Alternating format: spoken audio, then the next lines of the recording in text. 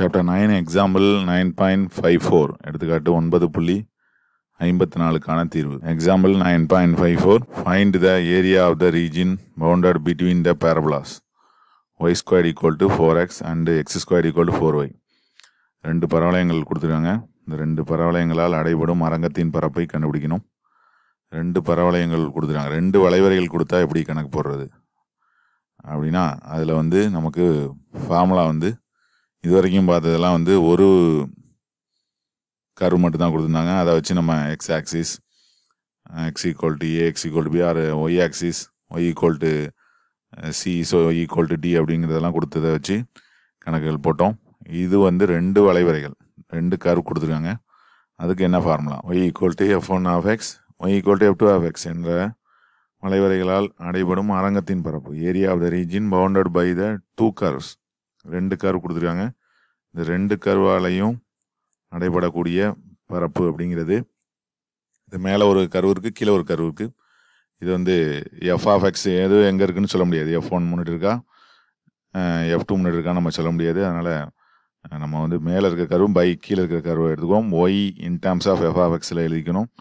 Area of the region bounded by the curves அப்படிங்கிறது y upper minus y lower dx எக்ஸை பொறுத்து நம்ம integrate பண்ணால் எக்ஸோட லிமிட்டு ஃபங்க்ஷன் ஆஃப் எக்ஸு மேலே உள்ளது மைனஸ் கீழே உள்ளது அப்படிங்கிற மாதிரி எழுதிட்டு நம்ம இன்டகிரேஷன் பண்ணால் அதுதான் வந்து area of the region bounded between the curves இது வந்து ஃபர்ஸ்ட் ஃபார்முலா இதே போல் நமக்கு செகண்ட் ஃபார்முலா பார்த்தோம்னா இதே ஒய் ஆக்சிஸை பொறுத்து நம்ம கண்டுபிடிக்கணும்னா ஒய்யோட லிமிட்டு ஃபங்க்ஷன் ஆஃப் ஒய்யில் இருக்கணும். அப்போ x right minus x left வலது கை பக்கம் உள்ளது இடது கை பக்கம் உள்ளதை மைனஸ் பண்ணி நம்ம எடுத்துக்கிட்டு அந்த கர்வு தான். ரெண்டு கர்வையும் அந்த மாதிரி இன்டர்ம்ஸாக எழுதிக்கிட்டு நம்ம எது ஃபஸ்ட்டு எது செகண்டு அப்படின்னு நம்ம முடிவு பண்ணுற மாதிரி இங்கே ரைட் மைனஸ் லெஃப்ட்டை நம்ம முடிவு பண்ணுறோம் அதனால் கொடுத்துருக்க ஆர்டரில் நமக்கு இருக்கும் அப்படின்னு சொல்ல முடியாது. அதனால் ரைட் மைனஸ் லெஃப்ட் எடுத்துக்கிட்டு மேலே இருக்கிற கருக்கில் இருக்கிற எடுத்தால் அது எக்ஸ் ஆக்சிஸ் வலது கை பக்கம் உள்ளது இடது கை பக்கம் உள்ளது எடுத்துக்கிட்டோம்னா அது வந்து ஒய் ஆக்சிஸை பொறுத்து நம்ம இன்டகிரேஷன் பண்ணி ஒய்யோட லிமிட் எடுத்துக்கணும்.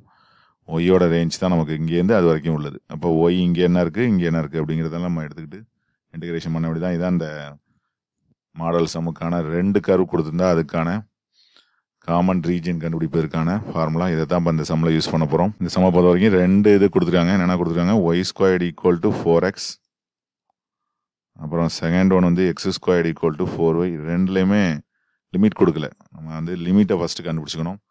முதல்ல இந்த கரு எங்கே இன்டர்செக்ட் ஆகுது அப்படிங்கிறதையும் நம்ம கண்டுபிடிச்சிட்டோம்னா அப்புறம் எக்ஸை பொறுத்து பண்ணுறதா ஒய்யை பொறுத்து பண்ணுறதா எது ஈஸியாக இருக்குங்கிறத நம்ம முடிவு பண்ணிக்கிட்டு பார்க்கலாம். இப்போது நம்ம இதை ஈக்குவேஷன் ஒன்றுன்னு வச்சுக்கோம் இதை டூன்னு வச்சுக்கோம் இதுலேருந்து எக்ஸ் கண்டுபிடிப்போம். எக்ஸ் கண்டுபிடிச்சா என்ன வரும்?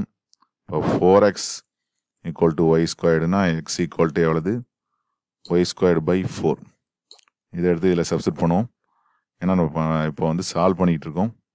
இப்போ இதில் சப்ஸ்டிட் பண்ணால் கிடைக்கக்கூடியது எக்ஸ் ஸ்கொயர்டு அப்படின்னா y squared by four to the whole squared equal to four y y power four வந்துடும் டிவைடட் பையில் sixteen equal to four y cross multiply பண்ணோம்னா y power four equal to sixteen into four sixty four y LHS side கொண்டு வந்துடும் y power four minus sixty four y equal to zero ஒய்யை காமனாக எடுத்துட்டோம்னா y cube minus sixty four equal to zero y equal to ஜீரோங்கிறது ஒன்று அடுத்தது y cube minus sixty four எப்படி எழுதலாம் four கியூப்னு எழுதிக்கலாம். ஈக்குவல் டு ஜீரோ இப்போ ஒய் ஈக்குவல் டு ஜீரோ தனியாக எப்போதுமே இருக்குது y cube equal to four கியூப்னா y equal to எவ்வளவு? ஃபோர் இப்போ y equal to zero comma ஃபோருங்கிறது நமக்கு ரெண்டு இது. ஒய் வேல்யூஸ் கிடச்சிது இதை நம்ம எக்ஸ் கண்டுபிடிக்கிறதுக்காக இதில் சப்ஸ்கிரைப் பண்ணலாம். இதில் வேணால் சப்ஸ்கிரைப் பண்ணலாம். இதில் சப்ஸ்கிரைப் பண்ணுவோம். X equal y square by ஃபோரில் ஒய் ஈக்குவல் டு ஜீரோன்னு சப்ஸ்டிட் பண்ணோம்னா என்ன கிடைக்கும்? X equal to zero square by four அதாவது ஜீரோ தான் கிடைக்கும். அப்போ ஜீரோ கமா ஜீரோங்கிறது ஒரு பாயிண்ட் ஆஃப் இன்டர்செக்ஷன் ரெண்டு கருவுக்கும். அடுத்து ஒய்க்கு வந்து ஃபோர் சப்ஸ்டிட் பண்ணோம்னா கிடைக்கக்கூடியது x equal to four squared by four four four cancel ஆகிடுது அப்போ எக்ஸ் ஈக்குவல் டு ஃபோர் ரெண்டு பாயிண்ட் கிடைக்குது. என்னென்ன பாயிண்ட் கிடைக்குது? ஜீரோ கமா ஜீரோவும் ஃபோர் கமா ஃபோரும் கிடைக்குது. இதுதான் என்னது? Points of intersection zero comma zero four comma four வெட்டும் புள்ளிகள் வந்து ரெண்டும் கிடைக்குது. இப்போ இதுக்கான படம் வந்து நம்ம வரைவோம். நைன் பாயிண்ட் ஃபைவ் ஃபோரில் ரெண்டு கரு கொடுத்துருக்காங்க. ரெண்டு பேரபுளாவையும் பார்த்தோம்னா ஒரு பேரபுளா வந்து ஓப்பன் ரைட் வார்ட்ஸ் ப்ளஸ் இருக்குது ப்ளஸ் எக்ஸ் அதே போல் இது ஓப்பன் அப்வேர்டு ஒய் இருக்குது ப்ளஸ் இருக்குது அதனால் ஓப்பன் அப்வேர்டு இப்போ ரெண்டையும் ஒரே கிராஃபில் நம்ம வரைவோம். இப்போ இந்த கிராஃப் பார்த்தோம்னா ஆரிஜினில் ரெண்டுமே இன்டர்செக்ட் ஆகுது. ஜீரோ ஜீரோ இதுதான் அந்த first curve y square equal to four x இதை நம்ம ஒய்ங்கிற வடிவத்தில் எழுதிக்கிட்டு நம்ம இன்டகிரேஷனில் யூஸ் பண்ணிக்கலாம். இதுதான் x square equal to four y x square equal to four y தான் கீழே இருக்குது இப்போ எக்ஸ் ஆக்சிஸை பொறுத்து நம்ம ஏரியா கண்டுபிடிக்கும் போது என்ன ஆகும் அப்படின்னா அபோவில் வந்து என்ன வந்துடும் y square equal to four x வந்துடும் பிலோவில் வந்து என்ன இருக்கும்? X square equal four y இருக்கும். அதனால் நம்ம லிமிட் வந்து பார்த்தோம்னா ஜீரோ ஜீரோ இதுதான் அந்த ஃபோர் கமா ஃபோருங்கிற மாதிரி. இப்போ எக்ஸை பொறுத்து எடுத்தாலும் ஃபோர் கமா ஃபோர் தான். ஒய்யை பொறுத்து எடுத்தாலும் ஃபோர் கமா ஃபோர் தான். அதனால் எது வேணாலும் நம்ம யூஸ் பண்ணி போடலாம் இந்த சம்மை பொறுத்த வரைக்கும். ரெண்டுமே ஈஸியானது தான். அதனால் கொடுத்துருக்கிற ரெண்டையும் வந்து ஒய் அப்பர் ஒய் லோயர் அப்படிங்கிற மாதிரி நம்ம எழுதிக்குவோம். அந்த ஃபர்ஸ்ட் கர்வ்லேருந்து ஒய் கண்டுபிடிச்சோம்னா என்ன கிடைக்கும்? Y equal to plus or minus root four x அப்படின்னு கிடைக்கும். ப்ளஸ்ஸை மட்டும் எடுத்துக்கோ நம்ம. ஒய் இதுதான் வந்து ஒய் அப்பர் அப்படிங்கிறத கண்டுபிடிச்சோம் நம்ம. Y upper equal to four root எடுத்தால் டூ அப்போ டூ ரூட் எக்ஸ் ப்ளஸ் மட்டும் எடுத்துக்கலாம். ரூட் எக்ஸ்னு எழுதலாம் அது எக்ஸ் பவர் ஆஃப்னு கூட எழுதிக்கலாம். ஓகே இதுதான் ஒய் அப்பர் அடுத்தது செகண்ட் இதுலேருந்து நம்ம தேவையானதை எடுத்துக்குவோம். ஒய் லோயர் டைரெக்டாகவே கிடைக்குது எப்படின்னா y equal to x square by four y lower equal to x square by four இது ரெண்டையும் தான் இப்போ இந்த சம்மில் இன்டகிரேஷனுக்கு பயன்படுத்த போகிறோம் y upper minus y lower அதனால் அந்த சம்மை பொறுத்த வரைக்கும் ஃபஸ்ட்டு தேவையானது வந்து பாயிண்ட் ஆஃப் இன்டர்செக்ஷன் வேணும். லிமிட் என்னங்கிறத ஃபஸ்ட்டு முடிவு பண்ணிக்கணும். அப்புறம் கிராஃபை வச்சு அது எது அப்பர் எது லோயர் அப்படிங்கிறத முடிவு பண்ணிட்டு அப்புறம் ஏரியா கண்டுபிடிக்க வேண்டியதான் ரிக்வயர்டு ஏரியாங்கிறது இன்டகரல் லிமிட் வந்து zero to four y upper minus y lower dx எக்ஸை பொறுத்தா நம்ம கண்டுபிடிக்க போகிறோம் ஒய்யை பொறுத்து கண்டுபிடிச்சாலும் இதே ஆன்சர் தான் வரும். அதில் எந்த மாற்றமும் இல்லை. Integral zero to four Y upper அப்படிங்கிறது கண்டுபிடிச்சி வச்சுருக்கோம். Two root X. X power half எழுதுனா ஒரே ஸ்டெப்பு கூட நம்ம இன்டகிரேஷன் ரெடி ஆகிடும் ஒய் லோயர் அப்படிங்கிறது X squared by four dx.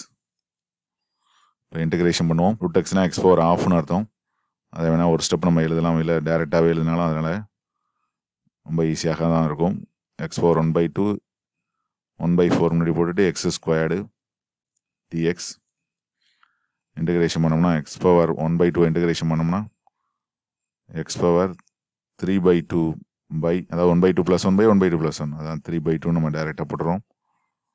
Minus one by four x square பண்ணால் x cube by three limit வந்து ஜீரோ டு ஃபோருங்கிறனால ஃபோர் மட்டும் தான் நம்ம வேல்யூஸ் தரும் ஜீரோ பண்ணோம்னா ஜீரோ ஆகிடும் அதனால் நம்ம ஈஸியாக கொண்டு வந்துடலாம். இப்போ அப்பர் லிமிட் போடுறதுக்கு முன்னாடி இந்த த்ரீ பை டூ தலைகளாக மாறிச்சுன்னா ஆகிடும் டூ பை த்ரீ ஆகிடும் ஏற்கனவே டூ இருக்குது அப்போ ஃபோர் பை த்ரீ இப்போ எக்ஸுக்கு பதிலாக ஃபோர் போடுவோம். Four power three by two minus one by twelve four three sir twelve போட்டோம். எக்ஸ் கியூப் அதாவது ஃபோர் கியூப் வந்துடும் இது அப்பர் லிமிட்டு மைனஸ் லோயர் லிமிட்டுங்கிறது எல்லாம் ஜீரோ ஆகிடும் ஏன்னா இதுலேயும் எக்ஸ் இருக்குது இதுலேயும் எக்ஸ் இருக்குது தனித்தனியாக தான் இருக்குது ஜீரோ ஆகிடும் four power three வீட்னா four power one and half one and ஆஃப்னா four root four அப்படின்னு அர்த்தம்.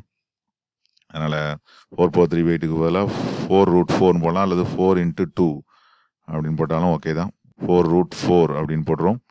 Okay minus one by twelve into four cube அப்படிங்கிறது சிக்ஸ்டி ஃபோர் இதில் இந்த டுவெல்லில் வந்து த்ரீ ஃபோர்ஸ் ஆர் டுவெல் இதில் sixteen fours four fours are sixteen sixteen into two வந்து thirty two இப்போ thirty two by three minus இது வந்து சிக்ஸ்டீன் பை த்ரீ இப்போ டோட்டலாக நமக்கு வந்து எல்சி எடுத்தோம்னா three thirty two minus sixteen answer அப்படிங்கிறது சிக்ஸ்டீன் பை த்ரீ அப்படின்னு கிடச்சிருது. அப்போ area of the region bounded between the curves between the parabolas அப்படிங்கிறது இந்த சம்மை பொறுத்த வரைக்கும் மிகவும் ஈஸியாக சிக்ஸ்டீன் பை த்ரீன்னு கிடச்சிது. அதுக்கு ஃபஸ்ட்டு நம்ம வந்து லிமிட் கண்டுபிடிக்கணும். அப்புறம் எது மேலே இருக்கிற கரவு கீழே இருக்கிற கரவும் எக்ஸை பொறுத்து கண்டுபிடிச்சோம்னா அப்படி கண்டுபிடிக்கணும்.